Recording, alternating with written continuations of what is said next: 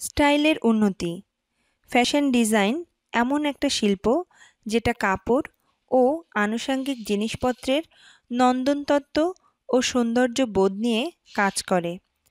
Fashion design সংস্কৃতি ও সামাজিক রীতি দ্বারা প্রভাবিত এবং স্থান ও সময়ভেদে ভিন্ন ভিন্ন হয়। ফ্যাশন ডিজাইনাররা অনেক পদ্ধতি অবলম্বন করেন। কাপড় ও জিনিসপত্র ডিজাইন করার জন্য। প্রাথমিক প্যাটার্নগুলো শেখার পর আপনি বুঝতে পারবেন কীভাবে একটি স্টাইল উন্নতি করতে হয়, যার মানে অগ্রসরী স্টাইল, হাতা, কলার, পকেট, লাইনিং এর কাজ, আধুনিক সাজানোর কৌশল এবং চ্যাপ্টা প্যাটার্নের কৌশলগুলো যেটা সৃজনশীলতা ও উদ্ভাবনী শক্তির উপর জোর দেয়। মহিলাদের স্টাইলের উন্নতি। আমরা যদি প্রাথমিক খসড়া তৈরির প্রক্রিয়া জানতে পারি, তবে খুব সহজেই আমরা মহিলাদের বিভিন্ন রকম পোশাকের ডিজাইন তৈরি করতে পারব। প্রক্রিয়াটিকে প্রভাবিত করে মেয়েদের পোশাকের বিভিন্নতা দেখা যাক। এক প্রস্থের পোশাক।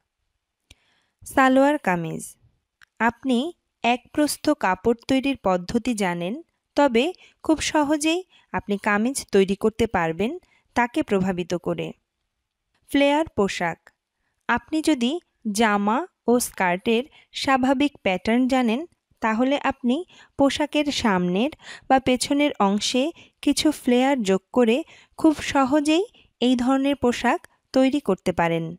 অনুষ্ঠান বিশেষ পোশাক। আপনি যদি ফ্যাশনে সাজানোর প্রক্রিয়া জানেন, তবে অনেক সহজেই আপনি এই পোশাক তৈরি করতে পারবেন। সভার পোশাক। গাউন। গাউন একটি জনপ্রিয় পোশাক। সাজানোর প্রক্রিয়া আপনাকে এই ধরনের পোশাক তৈরিতে সাহায্য করবে। বিভিন্ন রকমের স্কার্ট। সাধারণ স্কার্টকে প্রভাবিত করে আপনি এই ধরনের অনেক স্কার্ট তৈরি করতে পারবেন। পুরুষদের পোশাকের উন্নতি। যদি আমরা পুরুষদের শার্টের নমুনার খসড়া তৈরির প্রক্রিয়া জানতে পারি, তাহলে আমরা খুব সহজেই ছেলেদের শার্ট, কলার কাফ ডিজাইন করতে পারব শুধুমাত্র প্রক্রিয়ার পরিবর্তন করে। ছেলেদের পোশাকের কিছু বিভিন্নতা দেখা যাক। পুরুষদের বিভিন্ন রকমের shirt formal shirt classic shirt casual shirt